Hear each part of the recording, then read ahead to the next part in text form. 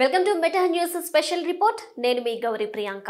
AP రాజధానిని అమరావతి నుంచి విశాఖకు తరలించాలనే ప్రభుత్వ పెద్దల ఆరాటం భోగాపురం ఎయిర్పోర్టు నిర్వాసితుల పాలిట శాపంలా మారుతోందా? మూడున్నరేళ్ళుగా ఎయిర్పోర్టు నిర్మాణాన్ని పట్టించుకొని జగన్ సర్కార్. ఇప్పుడు భోగాపురంలో ఎందుకు హడావిడి చేస్తోంది? పరిహారం పునరావాసం కల్పించకుండానే కట్టు బట్టలతో నిర్వాసితులను ఎందుకు వెళ్ళగొడుతోంది ప్రతిపక్షంలో ఉన్నప్పుడు నిర్వాసితులకు అండగా ఉంటామన్న జగన్. ఇప్పుడెందుకు మాట మార్చారు? రాత్రికి రాత్రే పేదల ఇళ్ళను ఎందుకు నేలమట్టం చేస్తున్నారు? అసలు భోగాపురంలో ఏం జరుగుతోంది? Let's watch the story. Vizianagaram జిల్లా భోగాపురంలో నిర్మించ తలపెట్టిన అంతర్జాతీయ విమానాశ్రయం వందలాది కుటుంబాలను రోడ్డు పాలు చేస్తోంది. ఎలాంటి పరిహారం పునరావాసం కల్పించకుండానే రాష్ట్ర ప్రభుత్వం ఇప్పుడు వారిని బలవంతంగా ఖాళీ చేయిస్తోంది. విద్యుత్ నీటి సరఫరాను నిలిపివేస్తున్న అధికారులు అమానవీయంగా వ్యవహరిస్తున్నారు. ఇళ్ళపైకి జేసీబీలు పంపి అక్రమంగా కూల్చివేతలకు పాల్పడుతున్నారు. గత కొన్ని రోజులుగా నిర్వాసితుల ఆక్రందనలు పట్టించుకోకుండా ఇళ్ళు ఖాళీ చేసే ప్రక్రియ సాగుతోంది. అయితే ప్రతిపక్ష నేత హోదాలో జగన్ వివిధ వర్గాలకు ఎన్నో హామీలు ఇచ్చారు. గతంలో భోగాపురం ప్రాంతంలో పర్యటించిన జగన్ నిర్వాసితులకు పూర్తిగా న్యాయం జరిగే వరకు పోరాడతానని హామీ ఇచ్చారు.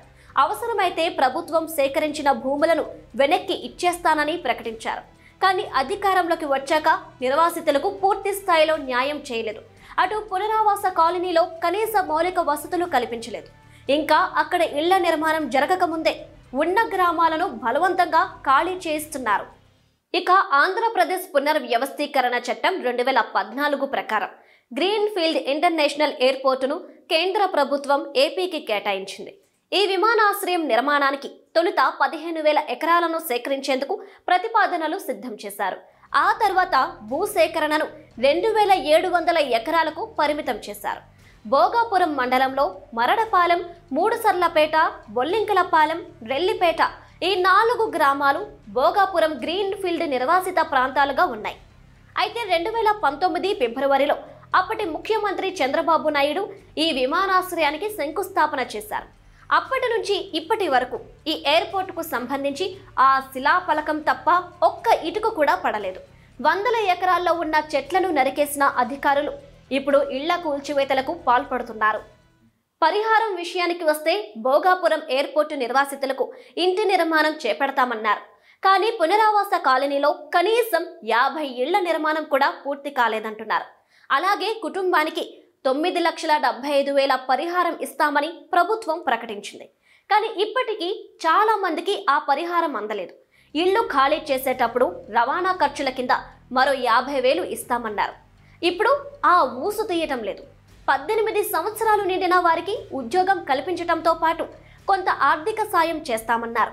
అవేవీ లేకుండానే ఇప్పుడు నిర్వాసితులను బలవంతంగా ఖాళీ చేయిస్తున్నారు ఇదేమని అడిగితే పోలీసులతో దౌర్జన్యం చేయిస్తున్నారని బాధితులు ఆవేదన వ్యక్తం చేస్తున్నారు. వాస్తవానికి సీఎం జగన్ అధికారంలోకి వచ్చి మూడున్నరేళ్ళు అయినా కనీసం భోగాపురం వైపు కన్నెత్తి చూడలేదు. అయితే ప్రస్తుతం ఎన్నికలు సమీపిస్తున్న నేపథ్యంలో వైసీపీ ప్రభుత్వం వ్యూహాత్మకంగా అడుగులు వేస్తోంది.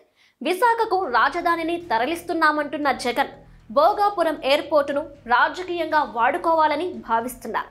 దీంట్లో భాగంగా ప్రస్తుతం భోగాపురంలో ఎయిర్పోర్టు పేరిట హడావిడి చేస్తున్నారని అంటున్నారు. భోగాపురం ఇంటర్నేషనల్ ఎయిర్పోర్టు నిర్మాణానికి గతంలో చంద్రబాబు శంకుస్థాపన చేశారు. కానీ అదే ప్రాంతంలో మరోసారి శంకుస్థాపన చేయటానికి జగన్ సిద్ధపడుతున్నారు. భోగాపురం ఎయిర్పోర్ట్ క్రెడిట్ తమ ఖాతాలో వేసుకోవటానికి ఇలా చేస్తున్నారనే వాదనలు వినిపిస్తున్నాయి.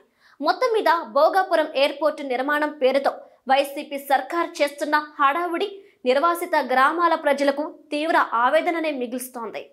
ఇది వాళ్ళ స్పెషల్ రిపోర్ట్. మరో ఇంట్రెస్టింగ్ టాపిక్తో మళ్ళీ కలుద్దాం. Please subscribe Meta news channel like చేయండి షేర్ చేయండి. గంట సింబల్ని కొట్టడం మర్చిపోకండి.